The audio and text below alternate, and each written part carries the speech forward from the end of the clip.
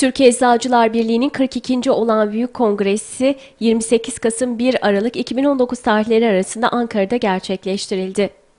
42. dönem Türkiye Eczacılar Birliği Merkez Heyeti ve Denetleme Kurulu için seçimlerinde Türkiye Eczacıları Birliği Merkez Heyeti üyeliğine seçildiğini belirten Yücel Yenilmez, ülkemizin diğer bölgelerinden seçilmiş kıymetli delege meslektaşlarının da teveccühüyle tarafına verilen kıymetli görev vesilesiyle 9. Bölge Eskişehir Bilecik Eczacı Odası Başkanlığı görevinden istifa ettiğini belirtti.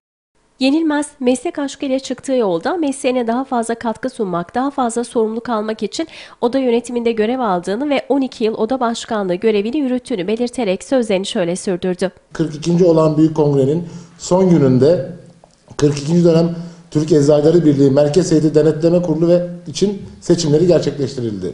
Bu seçimlerde Türk Eczacıları Birliği Merkez Heyeti üyeliğine seçilmiş bulunuyorum. Ülkemizin diğer bölgelerinden seçilmiş kıymetli delege meslektaşlarımın da teveccühüyle tarafıma verilen bu kıymetli görev vesilesiyle 9. bölge Eskişehir Bilecik Eczacı Odası Başkanlığı görevinden istifa ediyorum. Meslek aşkıyla çıktığım bu yolda mesleğime daha fazla katkı sunmak, daha fazla sorumluluk almak için oda yönetiminde görev aldım ve 12 yıl oda başkanlığı görevi yürüttüm. Sadece eczacı meslektaşlarımın değil, bir sağlık meslek örgütü yöneticisi olarak hem Eskişehir'deki hem de Bilecik'teki halk sağlığı sorunları, ilaca erişim ve sağlık alanı ile ilgili diğer konularda yaşanan birçok konunun takipçisi oldum ve elimizden geldiği kadar çözümüne katkı sunmaya çalıştım. Bugün meslek camiamızda başımı hep dik, hep dik tutmamı sağlamış evimden, yuvamdan, meslek, örgütüm, meslek örgütümden başka kıymetli bir görevi ifade edebilmek için ayrılıyorum. Yaşadığım hüznü seçildiğim yeni görevimin önemi ve kıymeti bilinciyle bir sevince dönüştürerek yeni bir yola çıkıyorum.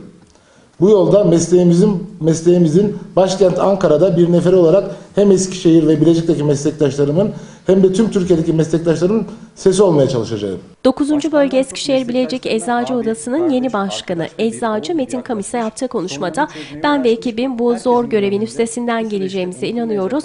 Yücel Başkanımıza ise verdiği hizmetten dolayı teşekkür ediyoruz dedi. Bir yanda mesleğimin şehrimizdeki en üst temsil noktasında olacağımdan dolayı gurur duyduğum gurur, Diğer yandan 12 yıldır bu görevi yapmış dostumun bu görevinde, görevinden ayrılmasının verdiği hüzün.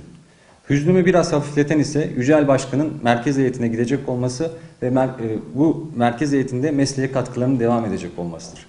Ben ve ekibim bu zor görevin üstesinden geleceğimize inanıyor. Yücel Başkan'a verdiği hizmetlerden dolayı huzurunuzda bir kez daha teşekkür ediyorum. Daha sonra toplu hatıra fotoğrafı çektirildi.